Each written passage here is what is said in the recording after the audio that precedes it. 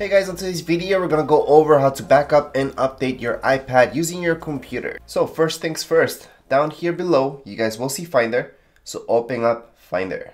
If you don't see Finder down there, just go into your Spotlight search, which is your top right hand corner. Just click right there and we're just gonna type in Finder.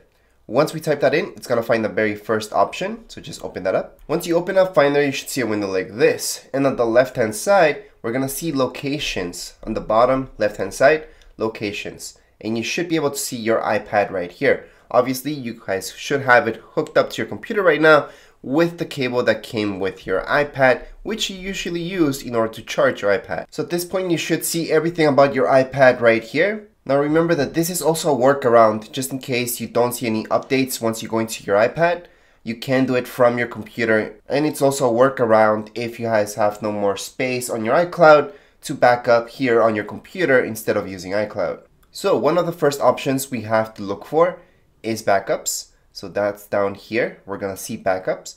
And what we have to choose is backup all data on your iPad to this Mac. And that way you don't have to worry about the 5 gig limit that you got from iCloud. So before we update or anything, let's just back it up. On the right hand side, we're gonna see this button where it says backup now. That's exactly what we have to do. Just tap on backup now and the backup should begin. How do we know something's happening? Well, on the left hand side, beside the iPad's name, under locations, you should see this. And right now we can see the progress bar. Now this backup really depends on your iPad, how much storage you guys have, how much stuff you guys have in your iPad. So for most of you with 16 gigs, it's only gonna take a couple minutes. For those of you with more gigs, then it should take a little bit more. Again, it depends how much stuff you guys actually have in your iPad. But generally, you're looking at maybe one to two minutes maximum. Now my backup is almost done. Yeah, and it's done. So how do I know that? Well, See, that's gone already. And on the main window, I'm gonna see last backup to this Mac today at 11. So that's right now. So at this point, it's finally safe to update your iPad. Right here, it might say your iPad is up to date. What we have to do is check for updates. So just select the very first option. And once you tap there, you should get this message on the top. It should say download and update. You could just download right now if you may want to use your iPad However, I suggest just making that time, just leave your iPad be and do the entire thing, download and update. So that's exactly what we're gonna do. Select download and update. From there, we're gonna see this and just going to next. You do have to agree. And finally, the download process will start. How do we know something's happening again? Well, same deal. On the left-hand side, we're gonna see locations and we should see this spinning around. That's just downloading. Installing, it's gonna be a little bit different, but as long as you guys see something happening there, you're good to go. How long will this entire process take? Well, it does depend on your internet speed and your iPad as well.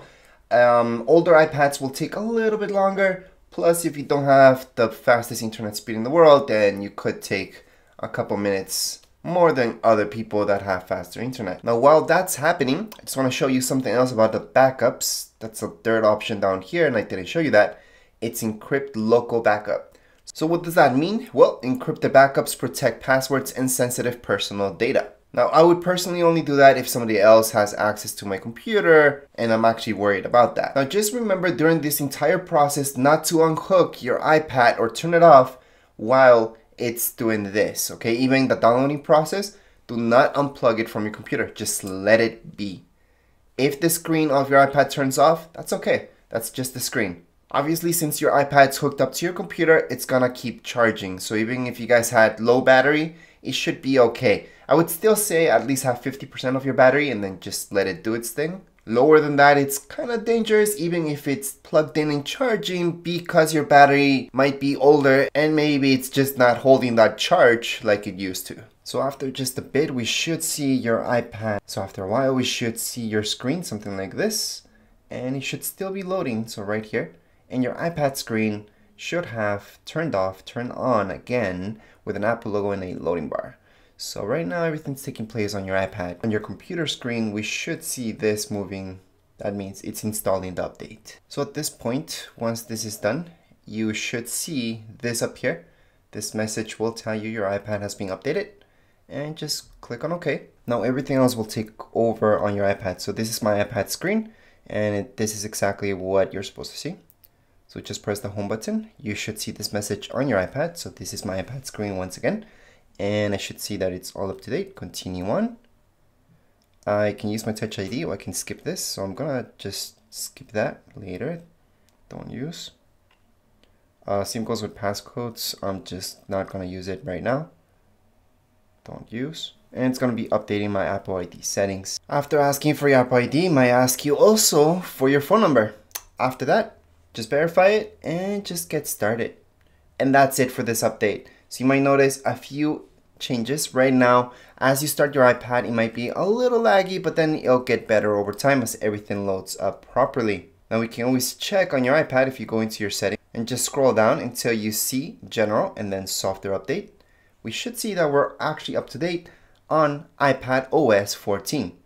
And that would be it for this video. At this point in time, you can go ahead and eject your iPad and then unplug it from your computer. You are all set. Anyways, if you guys have any comments, questions, you guys can write down here in comments area. Don't forget to subscribe and rate. Thank you.